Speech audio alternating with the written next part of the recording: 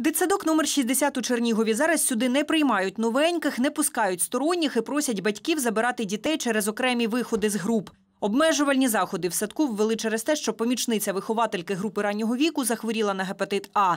Діти жінки навчаються у сьомій школі, де в жовтні стався спалах цього вірусного захворювання. Людина мені 12 листопада зателефонувала ввечері додому, говорить, моїй дитині чогось ну, погана температура, тобто дитина е, симптомів гепатиту не було. Бо до цього наша медсестра провела навчання. Уже у нас був наказ управління освіти по заходах по сьомій школі, і в принципі всі співробітники вже знають на що звернути увагу. 13 листопада е, дитина не показує симптомів гепатиту, але кров, аналіз крові показали, що у дитини гепатит. З 12 листопада, відтоді, як її дитина захворіла, помічниця виховательки на роботу не ходила. Брала спочатку лікарняний, потім відпустку. Інкубаційний цей період її саме не було в нас на робочому місці. Розуміючи, що вона помічник вихователя групи раннього віку, і вона має близький контакт з своєю дитиною. І вірогідність того, що вона захворіє, дуже висока. Е, Прошу її вжити заходів і е, не відвідувати робоче місце. Зоя Плугова каже про те, що дитина їх працівниці захворіла на гепатит, повідомили в лабораторний центр. У групі, де вона працює, провели дезінфекцію, посилили дезрежим. У всьому дитсадку кожного дня обробляли ручки на дверях. Карантин не вводили, оскільки осередку епідемії в садку нема, каже директорка. Два дні тому помічницю виховательки госпіталізували із гепатитом А. Нам повідомили 10 числа, що в 3 години дня її кладуть уже в лікарню, вона сама захворіла. Хлопчик її вже виписаний був. Разом із жінкою захворіла й друга її дитина, теж учень сьомої школи. Після цього у 60-му дитсадку ввели обмежувальні заходи, враховуючи інкубаційний період гепатиту до 17 грудня. Проведена дезінфекція приміщення повністю. Е, М'яких іграшок килимів в нас і не було. В цій е, групі ми зняли ще тоді в листопаді місяці. Тому обробка е, приміщення, стіни, підлога, посуд, все це було здійснено.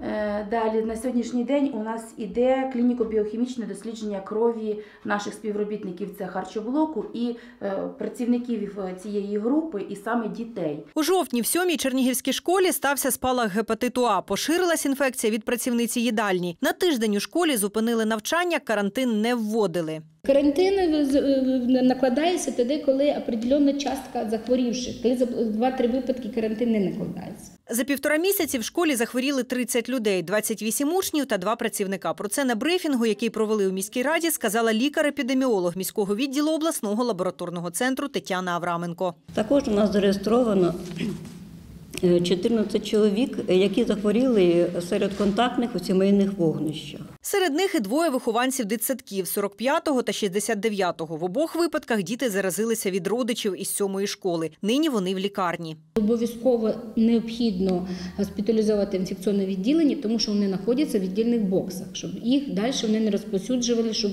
вдома не приходили родичі і далі, щоб не не було зараження. Це руки не миті, це не вода можна кипячена, ну це тільки людина людину заражає.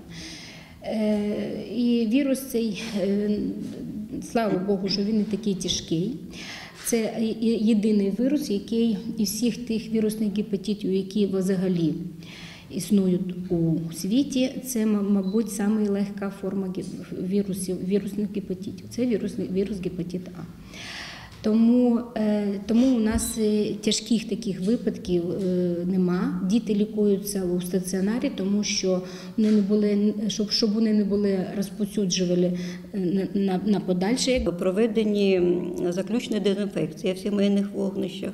По кожному випадку в організованих колективах проводиться також заключна дезінфекція.